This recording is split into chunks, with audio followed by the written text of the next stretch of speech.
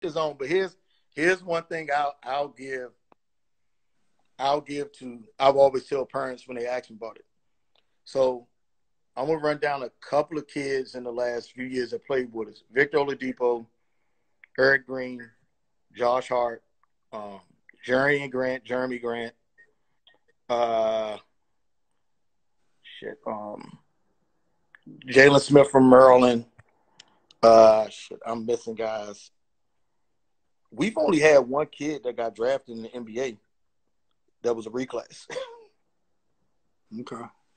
So, I mean, I, I think with at some point, here, here's what people don't understand is like, at some point it catches up, right?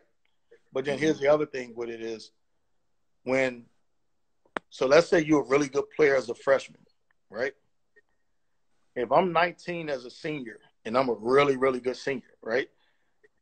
I'm almost operating on a one or two year window when I go to college. I don't have, I can't, I don't have the, lot, the luxury of playing for four years like Josh Hart did and still going the first round. Right. You know what I'm saying? Because mm-hmm. the way the NBA works, your age is just as important as your game. You know what I mean? Because right. they just like they evaluate your game, they evaluate your age.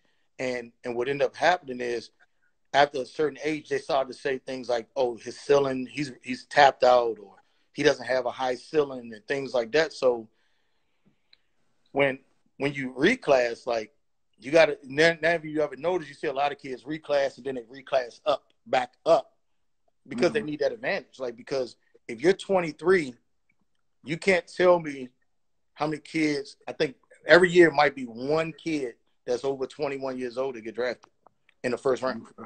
Right. You know, so eventually you're going to get penalized for that reclass if you're if that's your ultimate goal. Now, I never I never look down on a person that says, "Hey, I just don't think my son is ready to go into that social environment with 17, 18, 19 year old kids at a high school level.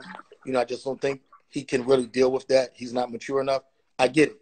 I never right. knock a kid that's saying, hey, my son will really struggle, you know, in math or science or economics, whatever that's, that class may be. I think he needs another year to work on it. You know, what, what my issue become is when you start telling me, oh, I'm going to reclass him because I, I just think like he going he got a growth spurt coming. Right. Or he just ain't he's not mature enough, not as a person, but he's not mature enough in his body yet. Like that's the bullshit. Like at the end of right. the day, what that says to me is you're living through your kid. Right. Absolutely. Because if your kid is good, he's going to get a scholarship anyway. Right. Absolutely. You know, that's kind of where I'm with it.